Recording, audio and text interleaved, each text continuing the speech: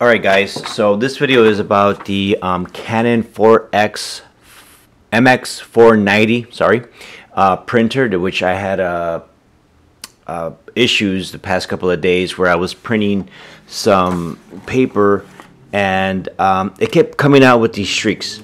So you, you see this here. Um, this is like about the fourth, uh, maybe sixth page that I printed after aligning, after doing the deep cleaning, after doing all that nonsense um, on the printer, and it still kept printing the same way. I ran the alignment, and the alignment was wasn't coming out right. You know, you could see the, those streaks. So I was pretty fed up and I kept looking at stuff. I couldn't find a, a right video on this. Finally, I got into this document that kind of showed you what to do.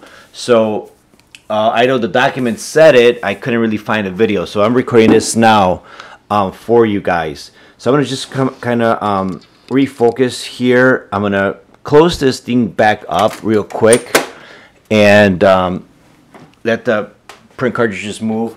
I'm going to disconnect uh, the printer and then I'm going to reopen this back up here okay? Because this is critical all right? I'm going to try to zoom in again. Hopefully we could see that a little bit better. I'm going to come in a little bit more here. Um, let me see if I can refocus that light there all right? All right perfect right there. So um, as you can see there's a very uh, there's a, a little film that goes across the printer okay? As you can see here this um, this plastic one here on top okay? You can see it better on this other end. Um, let me see if I can do it better over here. So you see that um, uh, maybe try to use a little q-tip again here. Just that little plastic film right there it was actually dirty. I had a, a paper jam, and um, I guess it got dirty. So you just you just have to be careful because this bottom little metal plate here, it's full of grease.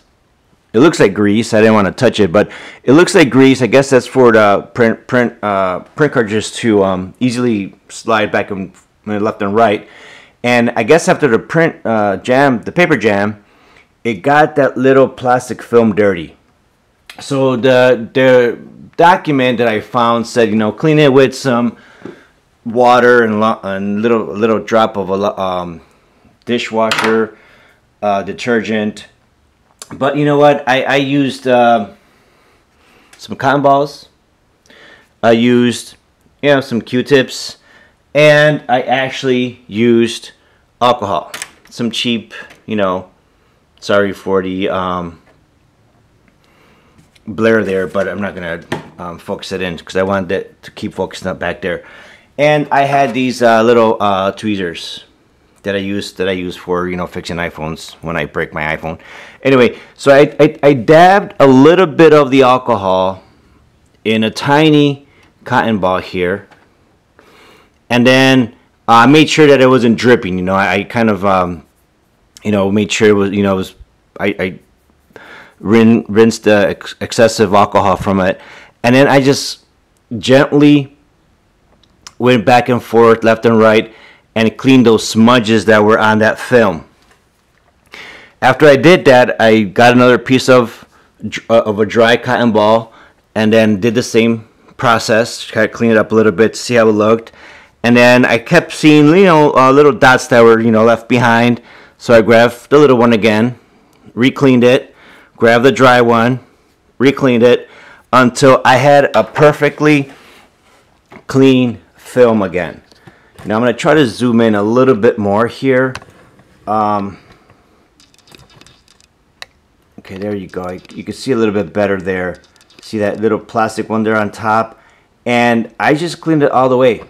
You know, not the whole thing only where only where i saw that it was like kind of blurry where you could tell it was kind of dirty and that actually did the job. I you know cleaned it real good. And don't don't apply too much pressure on that film. According to that document i read you know you could probably you know make it make it loose. But use your best judgment. Don't don't push it too hard. Just push it enough to kind of get that grease if that if that indeed grease got on there. I can't see what else would have got on there. Um, but that did it. So don't waste your time looking at other stuff. Please uh, if you're if you did all the alignments the deep cleaning the cleaning and realigned again and and you're still getting some streaks on your paper. And trust me i printed out my park my red light violation there. Anyway so as you can see all these papers were printing the same way with that line and sure enough, it's because that little plastic thing was dirty.